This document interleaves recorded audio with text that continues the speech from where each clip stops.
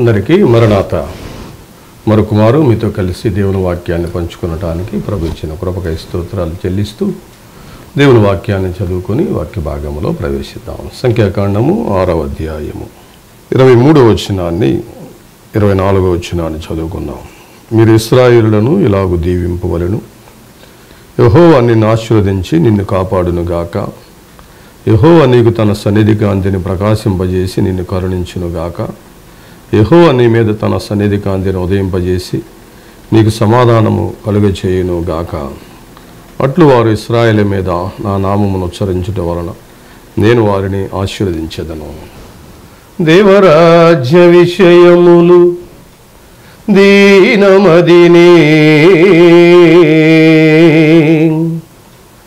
వరుసగా నేర్చుకునువారు వాటి వశమో. ధనముల్ వారి వశమౌనుగానగలుగు సుఖము భువి మీద శ్రమలందు శుభము శుభము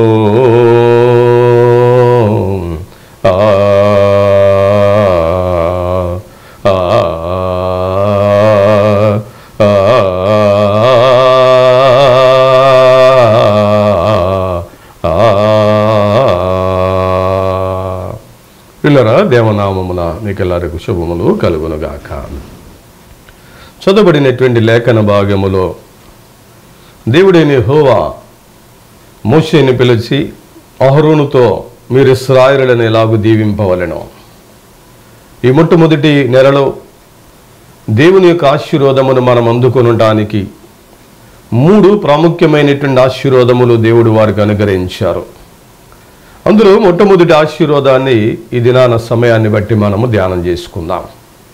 యహోవా మేము ఆశీర్వదించి మిమ్ము కాపాడునుగాక. ఈ మొట్టమొదటి ఆశీర్వాదములో యహోవా ఆశీర్వదము చేత మరలా కాపాడేటువంటి విధానమును వాక్య భాగములో మనం ధ్యానించబోతున్నాం. దేవుడు అందరినీ ఆశీర్వదిస్తాడు. దేవుడు అందరినీ కాపాడుతూనే ఉంటాడు. ప్రియులరా ఈ మాటను ఎందుకు అహరోను గారి ద్వారా సెలవిచ్చారంటే దేవుని సన్నిధికి వచ్చినటువంటి వారికి ప్రత్యేకమైనటువంటి ఆశీర్వాదము దేవుడిస్తూ ఉన్నాడు. కాబట్టి అహరోను గారి యాజకుడు గనక యాజకుడు ఆశీర్వాదము ఇవ్వటానికి దేవుని మందిరములోనికి వెళ్ళాలి. దేవుని మందిరములోనికి వెళ్ళినటువంటి ప్రజలకు యాజకుని ద్వారా దేవుని ఆశీర్వాదం అందించాలి.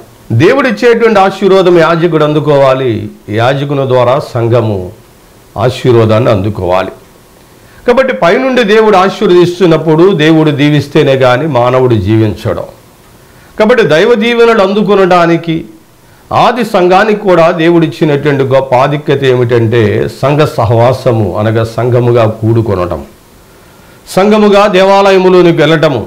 మీరు ఈ పని చేయండి అనబడినటువంటి సంగతులు అపోస్తుడు అనబడిన పౌలు గారు జ్ఞాపకం చేశాడు.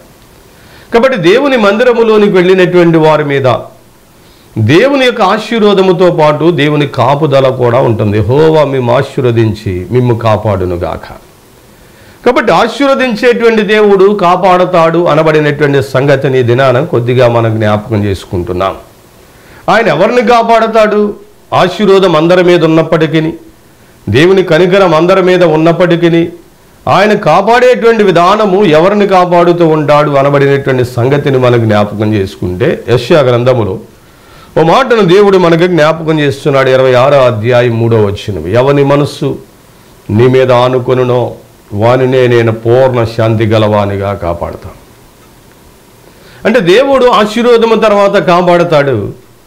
ఏ రీతి వ్యక్తులను కాపాడతాడు అని అంటే ఎవని మనస్సు దేవుని మీద ఆనుకుంటుందో ఆ వ్యక్తులను దేవుడు కాపాడతాడు. అందుకే దావీదు గారు అంటాడు ఇస్రాయలను కాపాడువాడు కునుకడు నిద్రపోడు.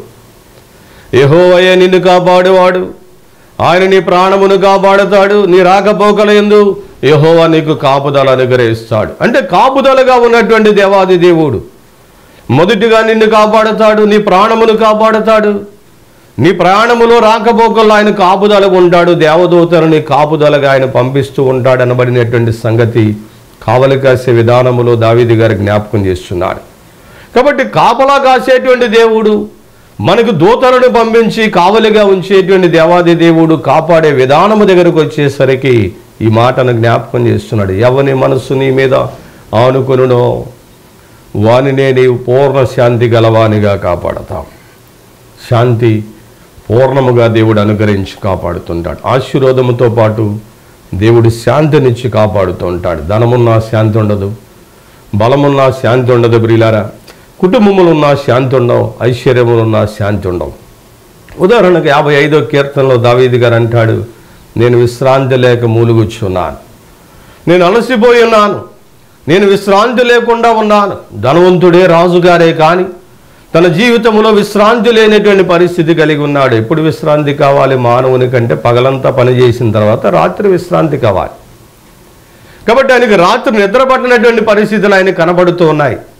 ఆశీర్వాదం ఉంది కానీ మనశ్శాంతి లేనటువంటి పరిస్థితులు ఆయన ఉన్నాడు ప్రియులార. పూర్ణ శాంతి గలవానిగా దేవుడు కాపాడతాడు. ఎవని మనసు దేవుని మీద ఆనుకుంటుందో. ప్రియులారా నువ్వు ఎవరి మీద ఆనుకొని ఈ వత్సరాలన్నీ గడిపావు? ఎవని మీద ఆనుకొని కొన్ని వత్సరాలన్నీ సమయాన్ని వృధా చేశావు? ఈ వత్సరములో దేవుడు నీకు ఇచ్చిన అమూల్యమైనటువంటి సమయాన్ని దేవుని మీద నువ్వు ఆనుకొనటానికి ప్రయత్నం చేసినట్లయితే దేవుడు నిన్ను ఆదుకుంటాడా? ఇతరుల మీద నువ్వు ఆనుకున్నట్లయితే వారు నిన్ను అవమానపరుస్తారు హేళనపరుస్తారు ఇబ్బందులు నిన్ను ముంచి వేస్తారు నిన్ను శోధనలు నీ బాధలు నీ కష్టములు అధికమైపోతూ ఉంటాయి ప్రియుల కాబట్టి ప్రభు యొద్దకు వచ్చినటువంటి వారలారా యహోవ మేము ఆశీర్వదించి మేము కాపాడునుగా కనబడినటువంటి ఆ సంగతి ఆశీర్వాదమును ఎవరిని దేవుడు ఆశీర్వదిస్తున్నాడు అనబడినటువంటి ఒక మాటను నేను మీకు జ్ఞాపకం చేస్తున్నాను. ఎవరిని మనస్సు నీ మీద వా ఆనుకొనునో వానినే నేను పూర్ణ శాంతి గలవానిగా కాపాడతాను. కాబట్టి మనసు అనేటువంటి దాన్ని మనం జ్ఞాపకం చేసుకున్నట్లయితే ప్రియులరా దాని వేగానికి పరిమితము లేదు. అన్ని వేగములకు పరిమితి ఉంది కానీ మనసు ప్రయాణమునకు వేగమునకు పరిమితి లేదు. మనిషి ఇక్కడే ఉంటాడు కానీ మనసు ఎంతో దూరం వెళ్ళి ప్రయాణం చేసి మనిషిలోనికి వస్తూ ఉంటుంది. ఉదాహరణకు బంధువులు అమెరికా దేశములుంటే మనసు అక్కడికి వెళ్ళి వచ్చేస్తూ ఉంటుంది ప్రియులారా. ఎక్కడ మన బంధువులు ఉన్నా ఎక్కడ మనకు అక్కర ఉన్నా అక్కడికి వెళ్ళి మనసు ప్రయాణం చేసి మరలా మన దగ్గరికి వస్తూ ఉంది. కాబట్టి మనసుకు పరిమితి లేదు. కాబట్టి దేవుడు అడుగుతుంది నీ మనస్సు కావాలి. కాబట్టి మనసు దేవుని మీద నువ్వు ఆనుకోవాలి. పరిపరి విధములుగా మనసు సంచలము కలిగినటువంటి వ్యక్తులుగా మానవుడు జీవిస్తున్నటువంటి తరుణములో దేవుడు మాట్లాడుచున్నటువంటి మాట ఈ నూతన వత్సరములో నువ్వు నూతన సృష్టిగా మార్చబడాలి. నీవు నూతనమైనటువంటి అక్షరములు ఆశీర్వాదం పొందుకోవాలి అని అంటే దేవుని మీద నువ్వు ఆనుకోగలిగినటువంటి పరిస్థితిని నువ్వు కొని తెచ్చుకోవాలి. యహోవా ఈ గృహమునకు అధిపతి అని పెడుతూ ఉంటారు. గృహాలకు వెళ్తూ ఉన్నప్పుడు వీళ్ళారు. కానీ ఆ గృహములు యహో అధిపతిగా ఉండడు అనమాట ఆ గృహములో వాళ్ళ సొంత ప్రయాణములు సొంత ప్రయత్నములు సొంత కార్యములు జరిగిస్తూ ఉంటారు. శుభకార్యములు జరిగేటప్పుడు ప్రభువును ప్రక్కన పెడతారు. అశుభ కార్యములు జరిగేటప్పుడు వాస్తు చూసుకుంటూ ఉంటారు. ప్రభువును ప్రక్కన పెడుతూ ఉంటారు. కానీ బోధు మాత్రం ఈ గృహానికి అధిపతి యహోవాయే. దినాన ప్రభు యొద్దకు వచ్చినటువంటి వారలారా దేవుని మీద ఆనుకుని సంఘము దేవుని మీద ఆనుకుని కుటుంబము బలమైనటువంటిదిగా పేతురు గారు కట్టబడినట్లు ఎదుగో పేతురు నా బండ నీ బండ మీద నా సంఘాన్ని నువ్వు కట్టాలి. పేతురు గారికి దేవుడిచ్చిన అధికారమును బట్టి సంఘమును బలముగా నిర్మాణం చేయడానికి ఆది అపోస్తుల కాలములో దేవుడు కనికరాన్ని కృపను చూపించాడు. కాబట్టి సంఘం ఆశీర్వదించబడాలి సంఘములోనికి వచ్చిన వారందరూ ఆశీర్వదించబడాలి అనంటే ప్రతి ఆదివారం దేవుని మందిరములోనికి వచ్చి దేవుడిచ్చి ఆశీర్వాదం యాజకుని ద్వారా నువ్వు అందుకోవాలి. ఒకవేళ ఈ కరోనా దృష్ట్యా నువ్వు దేవుని మందిరానికి వెళ్ళలేనటువంటి పరిస్థితిలో ఉంటే ప్రతికూలమైనటువంటి వాతావరణములు వచ్చినప్పుడు కూడా వెళ్ళలేకుండా నువ్వు ఉన్నట్లయితే దేవుని యొక్క సన్నిధి దేవుని కాపుదల దేవుని ఆశీర్వాదాన్ని నువ్వు దూరపరుచుకునేటువంటి పరిస్థితిలో ఉంటాం ఇలా కాబట్టి ప్రభు యొద్దకు వచ్చినటువంటి వారలారా మొట్టమొదటిది మొట్టమొదటిది దేవుని మీద మన మనస్సు ఆనుకుని మనం వెళ్ళగలిగినప్పుడు పూర్ణ శాంతి గలవానిగా దేవుడు కాపాడతాడు.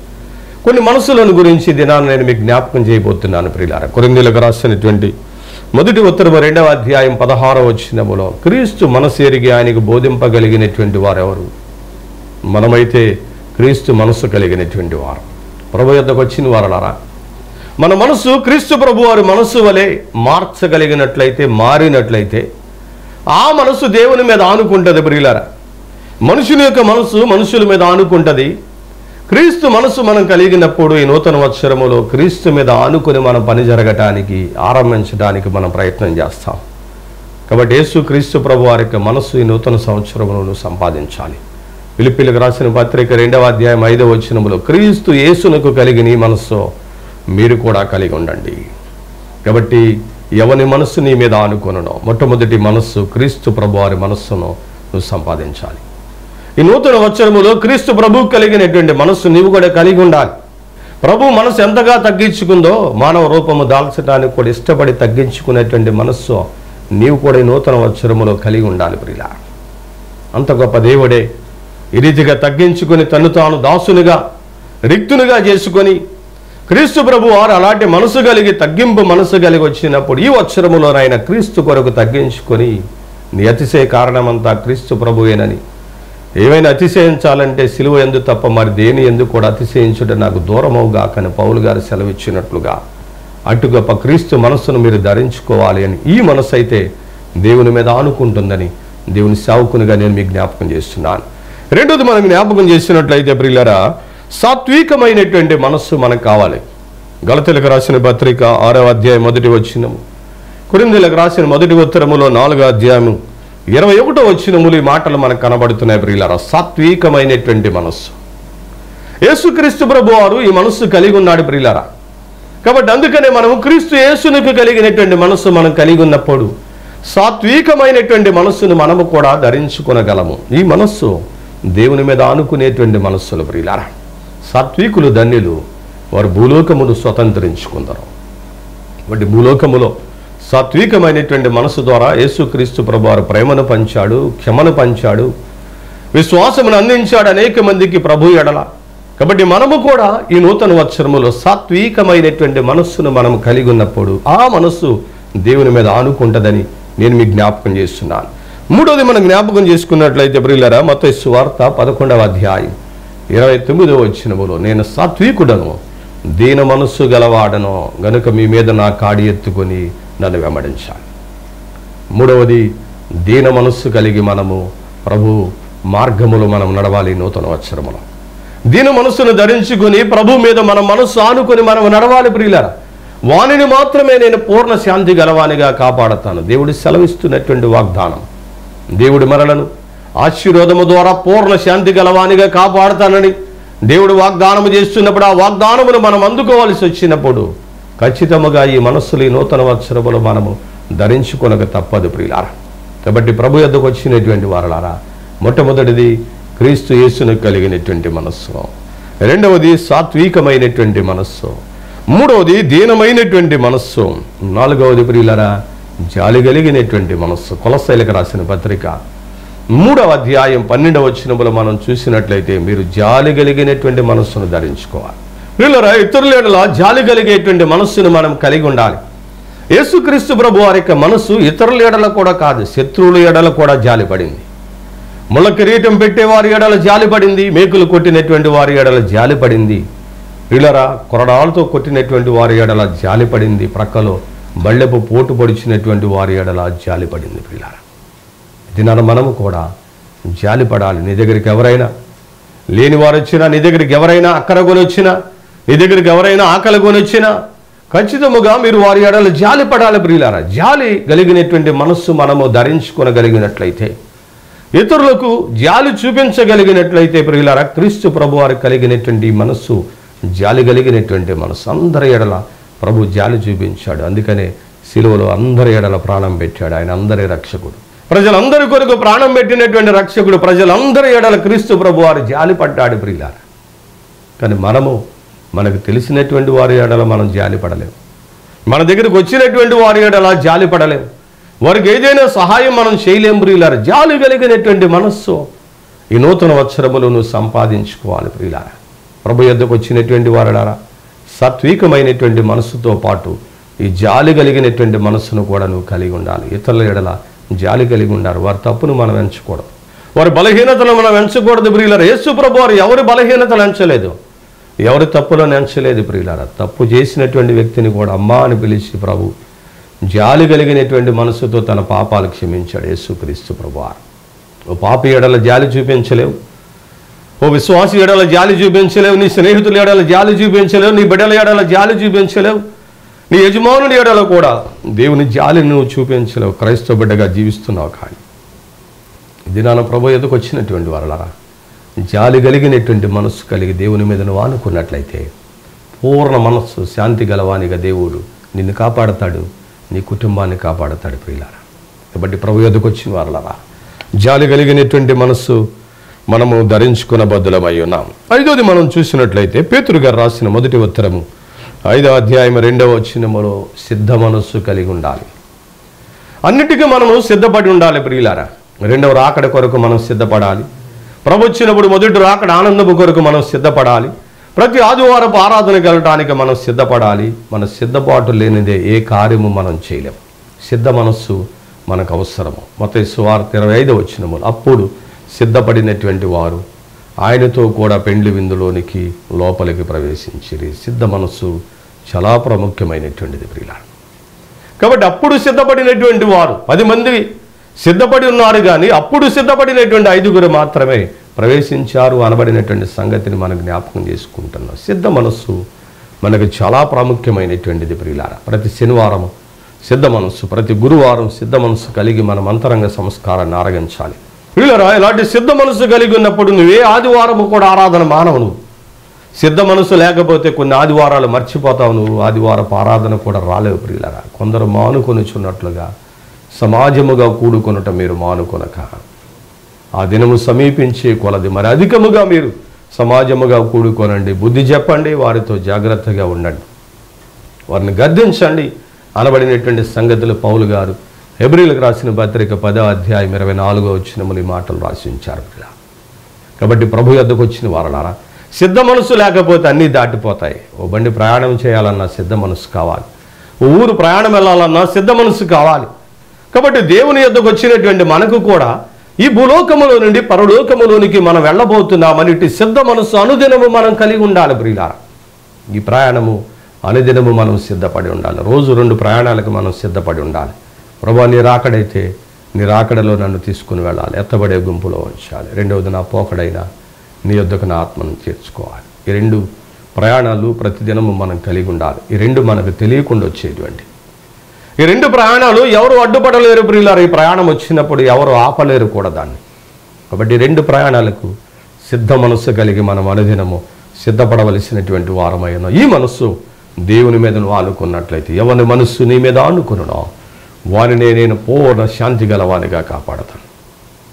కనుక దేవుడు వాగ్దానం చేస్తున్నాడు యహో మేము ఆశీర్వదించి మేము కాపాడునుగా కనబడినటువంటి ఆ వాగ్దానము మన జీవితాల్లో మన కుటుంబాల్లో నెరవేర్చబడాలి అని అంటే మనం చేయవలసినటువంటి పని ఏమిటంటే మన మనస్సు దేవుని మీద ఆనుకునేటువంటి మనస్సు మనం కలిగి ఉండాలి ప్రియులారా. దేవుని యొద్దకు వచ్చినటువంటి వారులారా ఆ రోజు మనం చూసినట్లయితే నెహమియా గ్రంథం నాలుగు అధ్యాయం ఆరో వచ్చినం పని చేయుటకు వారు మనస్సు కలిగినటువంటి వారై ఉన్నారు. పని చేసేటువంటి మనస్సు ప్రియులారా ఈ దినాల్లో చాలా మందిని మనం జ్ఞాపకం చేసుకున్నట్లయితే పని చేయకుండా భోజనం చేయకూడదు ప్రియులారా. పురుష లక్షణం అపోసుడు అనబడిన పౌలు గారు జ్ఞాపకం చేస్తాడు. ఏ పురుషుడు కష్టపడకుండా తన భోజన బల ఎద్దకు వెళ్ళకూడదు. పని చేసేటువంటి మనసు కావాలి ప్రియులారా. కష్టపడి పని జరిగించాలి. నీ కుటుంబాన్ని పోషించుకోవాలి. పురుషుల పనిని పురుషులు కష్టపడాలి. స్త్రీల పనిని స్త్రీలు కష్టపడాలి. పని చేసే మనస్సు కావాలి. స్త్రీలకు కూడా పని చేసే మనస్సు కావాలి ప్రియులారా. ఇంటిలో ఉన్నటువంటి పని అంతా ఎవరు చెప్పకుండానే పని చేసే మనసు కావాలి. బిడ్డలకు పని చేసే మనసు కావాలి. తన విద్యలో తన ఉద్యోగములు తన వ్యాపారములలో దేవుడు వారికి ఇచ్చినటువంటి జ్ఞానాన్ని బట్టి పని చేసేటువంటి మనస్సును వారు సంపాదించాలి ప్రియులారా. ఆరవది పని చేసేటువంటి మనస్సు దేవుడు యజరా నెహేమియాల ద్వారా అక్కడ ఇచ్చినప్పుడు వారు ఎరుషలేము గోడలను వారు కట్టించారు.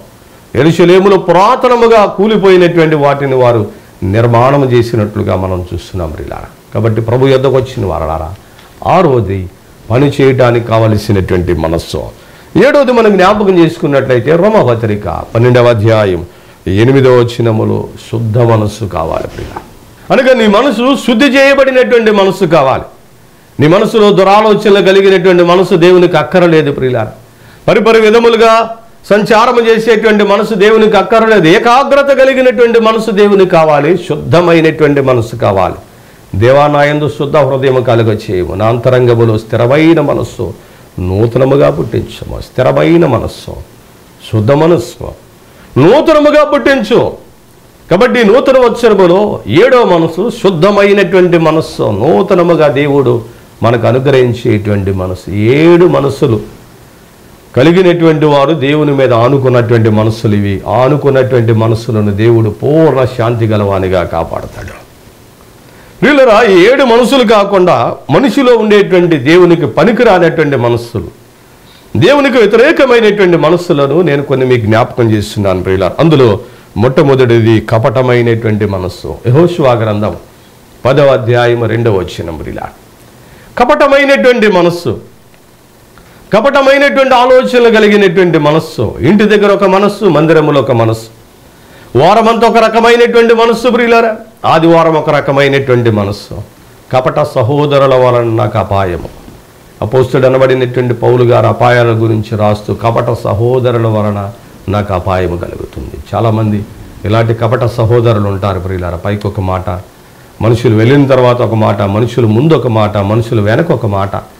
మనుషుల గురించి మంచిని ప్రక్కన పెట్టి చెడును ప్రకటించేటువంటి మాటలు కపటమైనటువంటి మనస్సులు ప్రియులారు. ఈ మనస్సు దేవునికి అనుకూలమైనటువంటిది కాదు దేవుని మీద ఆనుకునే మనస్సు కాదు ప్రిలా ఒకవేళ నూతన వత్సరములో నీ మనస్సు మార్చుకొని క్రీస్తు యేసును కలిగినటువంటి మనస్సు నీలో లేదు అని అంటే ఈ కపటమైనటువంటి మనస్సుకు భ్రష్ట మనస్సుకు వారికి నేను అప్పగించానని ప్రభు అన్నారు ప్రిలా వారి మనసులలో దేవునికి చోటు లేదు గనుక వారిని భ్రష్ట మనసుకు నేను వారిని అప్పగించాను. ఈ దినాన ప్రభు యొద్దకు వచ్చినటువంటి వారడారా ఉండకూడనటువంటి మనసులు కలిగే హో నన్ను ఆశీర్వదిస్తాడు నన్ను కాపాడతాడని ఒకవేళ ఇన్ని వత్సరాలు ఎదురు చూస్తూ ఉన్నట్లయితే ఇప్పటికైనా నీ మనస్సు మార్చుకొని కపటమైనటువంటి మనస్సు నీలో నుండి తొలగించుకోవాలి. కపట ఆలోచన నీకు ఉండట్టు ఉండకూడదు ప్రియులారా. ఏకాగ్రత కలిగినటువంటి ఆలోచన ఆ మనస్సును కలిగి ఉండాలని దేవుని సేవకునిగా నేను మీకు జ్ఞాపకం చేస్తున్నాను రెండోది మనం జ్ఞాపకం చేసుకున్నట్లయితే కఠినమైనటువంటి మనస్సు. నిర్గమకాండం పదమూడవ అధ్యాయము పదిహేనవ వచ్చినములో ప్రియులారా కఠినమైనటువంటి మనస్సు. ఫరో తన కఠినమైనటువంటి మనస్సుతో ఇస్రాయలులను పోనీయలేదు చివరికి తన కఠినమైనటువంటి మనసు ఏమైపోయిందంటే ఎర్ర సముద్రంలో మునిగిపోయింది. పిల్లరా తన కఠినమైనటువంటి మనసు ఎక్కడికి ఆయన నడిపించిందంటే ఎర్ర సముద్రంలో మునిగేంత వరకు నడిపించింది. నీ కఠినమైనటువంటి మనసు నిన్ను ఎక్కడికి నడిపిస్తుంది అంటే నరకంలో తోసేంత వరకు నడిపించింది. దయతో ప్రభు యొద్దకు వచ్చినటువంటి వారలారా ఈ నూతన వత్సరములో నువ్వు ఏ మనసు కలిగి ప్రభువుని వెంబడిస్తున్నావు? ఏ మనసు కలిగి ప్రభు మీద నువ్వు ఆనుకుంటున్నావు? పూర్ణ శాంతి లేనటువంటి పరిస్థితిలో నువ్వు ఉండి దేవుని యొద్దకు వచ్చినప్పుడు నేను ఆశీర్వదించి నేను నిన్ను కాపాడుతాను. పూర్ణ శాంతి గలవానిగా నేను నిన్ను దీవిస్తానని దేవుడు సెలవిస్తూ ఉంటే శాంతి లేని మార్గములలో తిరిగి నీ మనస్సును నీ సమయమును నీకున్న బలమును నీకున్న ధనమును వృధా చేసుకునేటువంటి పరిస్థితులు ఒకవేళ ఉన్నట్లయితే ఈ నూతన వత్సరములు దేవుని సేవకునిగా నేను మీకు జ్ఞాపకం చేస్తున్నాను. అలాంటి మనస్సు నువ్వు తొలగించుకోవాలి. కఠినమైన మనస్సు నీలో ఉండకూడదు ప్రియులారా. కఠినమైన మనస్సులను కరిగించడానికి యేసుక్రీస్తు ప్రభు వారు మానవ రూపం దాల్చాడు. మూడోది మనం జ్ఞాపకం చేసుకున్నట్లయితే భక్తిహీనమైనటువంటి మనస్సు ఇది మరీ ఘోరము పిల్ల. సామెతల గ్రంథము ఇరవై ఒకటో అధ్యాయం పదో వచ్చినాన్ని మనం చూసినట్లయితే ఈ భక్తిహీనమైనటువంటి మనస్సు. ప్రియులరా ఇది భక్తుల వలె ఉంటారు కానీ భక్తిహీనమైనటువంటి పరిస్థితి. గొర్రెలు మేకలు కలిసి జీవించినట్లుగా మంచి మొక్కలలో కలుపు మొక్కలు పెరుగుతూ ఉన్నట్లుగా భక్తుల మధ్య భక్తిహీనులు ఉంటారు ప్రియుల భక్తి పరుల వలె వారు ఉంటారు కానీ భక్తిహీనమైనటువంటి స్థితిలో వారు ఉంటారు ఏం పర్వాలేదు ఈ ఆదివారం వెళ్ళకపోయినా. ఏం పర్వాలేదు ఈ పండుగలను పాల్గొనకపోయినా. ఏం పర్వాలేదు ఈ కార్యము జరిగించకపోయినా. మనం వెళ్ళకపోయినా వచ్చే ఆదివారం కూడా గుడి అక్కడే ఉంటుంది. వచ్చే వారం కూడా పాదిరి గారు అక్కడే ఉంటాడు. ప్రియులరా భక్తిహీనమైనటువంటి మనస్సు. ప్రభు ఎద్దకు వచ్చినటువంటి వారులారా భక్తుల మనస్సు పరమునకు చూస్తూ ఉంటాయి భక్తిహీనమైనటువంటి మనస్సు కిందకు చూస్తూ ఉంటాయి. ఇది నాన్న దేవుని యొద్దకు వచ్చినటువంటి వారలరా ఈ భక్తిహీనమైనటువంటి మనస్సు దేవునికి పనికిరాదు ప్రియులారా కాబట్టి మూడు మనస్సులు నేను మీకు జ్ఞాపకం చేశాను. పనికిరానేటువంటి మనసులు చాలా ఉన్నాయి కానీ బైబిల్ గ్రంథంలో చాలా రకములైనటువంటి మనసులు ఉన్నాయి. చంచలమైనటువంటి మనసు ఇది కూడా దేవునికి పనికిరాదు ప్రియులారా రెండు పడవల మీద కాలేసేటువంటి పరిస్థితి. చంచలమైనటువంటి మనసు కలిగినటువంటి కయ్యును ప్రియులరా సంచలమైనటువంటి మనసు కలిగినటువంటి ఏశావు? దేశదిమ్మరులుగా తిరిగినట్లుగా మనం చూస్తున్నాం ప్రియులారా. పరిశుద్ధ గ్రంథములో చంచలమైనటువంటి మనసు దేవుని మీద ఆనుకోదనమాట కాబట్టి మొదట నేను చెప్పబడినటువంటి ఏడు మనస్సులు దేవుని మీద ఆనుకున్నటువంటి మనస్సులు ఆ మనస్సులు ఈ నూతన వచ్చరములు నువ్వు కలిగి ఉన్నట్లయితే ఇది మొదలుకొని నిరంతరము నీ రాకపోకలయందు యహోవా నిన్ను కాపాడనుగాక. ఇది మొదలుకొని అంటే మొదటి నెల నుండి. మరలా ఈ వచ్చరం అంతా యహోవా నిన్ను కాపాడతాడు తన దూతలకు ఆజ్ఞాపిస్తాడు. ఎప్పుడు అనంటే ఆ ఏడు మనసులను ధరించుకొని ప్రభు మీద నువ్వు ఆనుకొని ప్రయాణం చేసినప్పుడు ప్రభు ఖచ్చితంగా నిన్ను ఆదుకుంటాడు నిన్ను కాపాడతాడు నిన్ను ఆశీర్వదిస్తాడు. అట్టి గొప్ప ఆశీర్వాదం. క్రీస్తు ప్రభు మనందరికీ మెండుగా అనుకరించి నడిపించును గాక. ఆమెన్. ప్రార్థన చేసుకుందాం. మమ్ములను మిక్కిలిగా ప్రేమించిన మా ప్రియ పరలోకపు తండ్రి ఘనమైనటువంటి మా దేవా మీకు స్తోత్రములు. మరొక మారు నూతన వచ్చరములు అడుగు పెట్టించి నాయన ఈ మొదటి వారములో మిమ్మలను స్థుతించుకునటానికి మీరు ఇచ్చిన గొప్ప కృపకై స్తోత్రాలు చెల్లిస్తున్నా విన్న వాక్యము బిడల హృదయములో బదిలిపరుచుకొని నాయన మీ ఆశీర్వాదముతో పాటు మీరు కాపాడతానని ఇచ్చినటువంటి ఆశీర్వాద వాగ్దానమును నీ బిడలకు అందించి ఉండగా ఎవని మనసు నీ మీద ఆనుకునునో వానినే నేను పూర్ణ శాంతి గలవానిగా కాపాడతానని మీరు సెలవిచ్చారు గనుక ఏ మనసు కలిగి లోకములు లోకములో మేము జీవిస్తున్నామో.